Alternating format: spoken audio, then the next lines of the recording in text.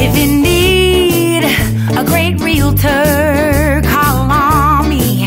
That's right. And if you want